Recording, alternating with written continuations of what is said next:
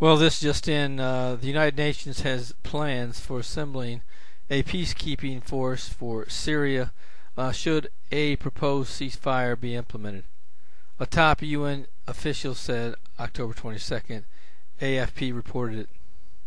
The official added that the plans are tentative and will only take effect if the UN Security Council can overcome internal divisions over the uh, situation in Syria. The Syrian regime on October 16 expressed interest in negotiating a ceasefire deal with the uh, country's rebel forces. I also received a, uh, an in-depth article on the uh, uh, new nuclear age or the second phase of the nuclear age. And this article entitled The Next Nuclear Age by Robert D. Kaplan basically outlines uh, the difference between uh, the first age and the next one. And basically what it's stating is that uh, the mindset of those who uh, hold down the nuclear threat uh, in the old days uh, is the mindset is completely different than those who uh, uh, could be the problem in the new age. And picking it up, it says, for example, during the Cold War, both superpowers were careful not to encourage public rallies during crisis. doing so could have backed them into a corner to be trapped by their own rhetoric. Indeed, the Cold Warrior style of strategy didn't taunt the uh, uh, enemy or make hysterical calls for its annihilation, Bracken uh, notes. Uh, but the new nuclear age upon us isn't like this at all. It will be closer to the mood of the mob in the street, and that uh, is because rather than ideology, the new nuclear age is driven by religion and nationalism. Nationalism may be passe among Western elites, but it is young and vibrant in Asia.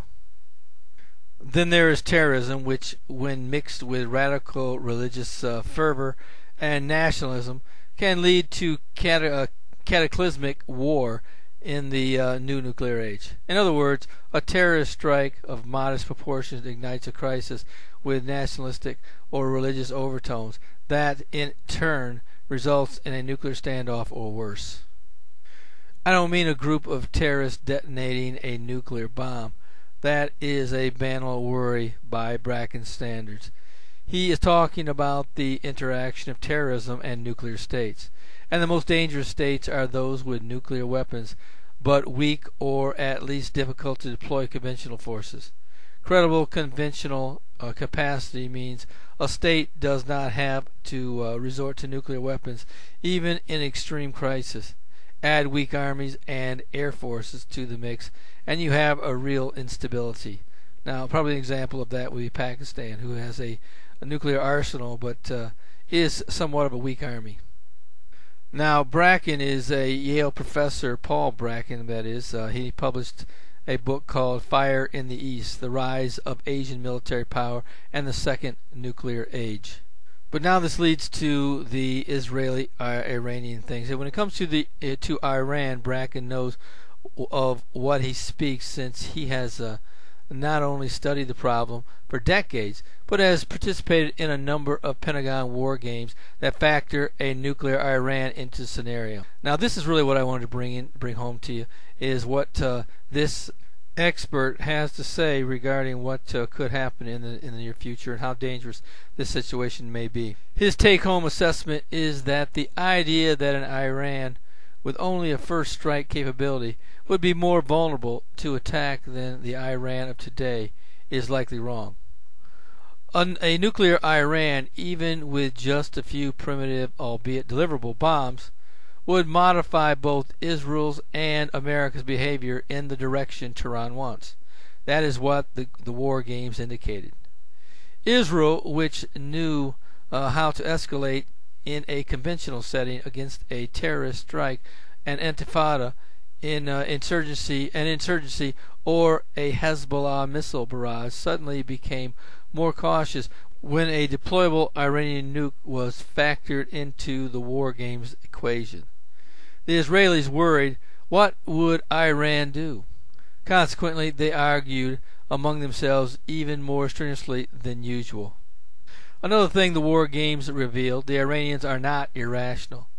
but their rationality is different than uh, that of the Cold War Americans and Soviets. The Iranians would put nuclear tipped missiles be, uh, beside schools and hospitals in hardened silos and hidden uh, among masses of conventional missiles, signaling to the world that some bombs were camouflaged, others well protected, and still others quite vulnerable, but only if the Americans and the Israelis were willing to kill many innocent civilians. Bracken describes vividly how a nuclear Iran would stretch relations between Washington and Jerusalem to an even greater breaking point than already exists. Moreover, Bracken uh, points out that whereas the United States and Israel would do almost anything now, short of invasion, to change the government of Iran, once Iran goes nuclear, their calculus could shift. For an Iran in political chaos or in uh, some level of disintegration could put the nukes in the hands of the worst radical elements that are no longer constrained by bureaucratic uh, control mechanisms. Therefore, the Iranian regime knows it will be uh, safer from the intrigues of the Americans and Israelis once it has a bomb. Now on to Turkey uh, and Syria. As you know, uh, many of you know, the uh, Turkey and Syria uh, conflict has kind of escalated. Uh, but it's kind of uh, dying down, and but there are still many challenges that Turkey has to overcome. First, it is attempting to prevent a power vacuum from expanding in Syria that would fuel Kurdish separatism. Uh, second, it is trying to push back the Iranian sphere of influence while expanding its own into the Arab world. Third, it wants to be taken seriously as a regional leader. Heavily constrained as it is, Ankara uh, appears to have chosen to tackle this array of issues primarily through dialogue. Turkey wants to avoid regime change in Syria, and it is not alone. Neither the uh, states uh, trying to retain influence in Syria, like Iran and Russia, nor the states trying to force a political transformation uh, in the Levant, uh, like Turkey, the United States, Saudi Arabia, France, and Qatar, are prepared to weather the consequences of de-Baathification, which would dismantle the state machinery, sideline the Alawite minority, and plunge the country more deeply into civil war. A growing consensus centered on removing the uh, Al-Assads while largely maintaining the regime has uh, created an opportunity for dialogue between the United States and Turkey on one side and Russia and Iran on the other. Tehran and Moscow have uh, used the months long stalemate in the Syrian conflict to edge their way into discussions over a post al Assad government. The Russians and Iranians have post, uh, positioned themselves for a possible agreement that facilitates an exit for the uh, al Assads while requiring a prominent space for the Alawites in uh, a new government, something that would preserve Russian and Iranian influence uh, in Syria. The first major dialogue for Turkey to mediate is between the United States and Iran. The United States has no interest in, in initiating a military intervention in Syria, though it is preparing for the possibility that U.S. intelligence uh, assets and special operations forces will have to secure Syrian chemical weapons stockpiles in the event of a regime meltdown, and that very well could be possible it would be preferable that the Alawites do stay in power, uh, absent of Al Assad uh, family, but uh, that very well may not be the case. The United States also does not want to engage in a military confrontation with Iran over its nuclear program. Washington thus has elected a strategy whereby Turkey does the bulk of the work on Syria, while Washington focuses on weakening Iran through sanctions pressure covert operation and building up a credible military threat in the Persian Gulf. Washington hopes to uh, coerce Iran into negotiations where it can extract hefty concessions from Tehran on issues ranging from Syria to the nuclear or Iranian nuclear program. Timing is everything in such a challenging negotiating environment. The U.S. led economic siege of Iran is starting to bite as evidenced by the rapid depreciation of the Iranian rial uh, in the last few weeks. Iran officials, uh, Iranian officials, claim that Iran can weather hardship um, far better than most think, but the specter of social unrest exploited by foreign powers clearly weighs heavily on Tehran. Iran also cannot shake the threat of a potential U.S. Israeli strike. Though the chances of such a strike remain low, occasional Israeli saber rattling, plus a far higher level of U.S. military preparedness uh, in the Persian Gulf, make it much harder for the for Iran to call the U.S. bluff. At the same time, Iran is watching the situation in Syria deteriorate and is trying to prevent a scenario in which the sect, uh, sectarian spillover in Syria threatens Iran's hard fought gains in Iraq. All of this does not necessarily mean Iran is ready to offer serious concessions, but Iran is uh, giving indications that it wants dialogue with Washington. And as you heard yesterday, as I reported, that uh, uh there was breaking news that Iran and Washington were uh, possibly engaging in secret talks and that Iran was ready to, to negotiate. Of course, both the Iranian officials and U.S. officials uh, immediately denied such talks were taking place, but that the, the, negotiations were still going through the P uh, the P5 plus one. Frankly, I believe they've always had secret behind the scenes talks uh, that just have not come to light. And Turkey is serving as a facilitator for such a, a dialogue between the U.S. and uh, Iran.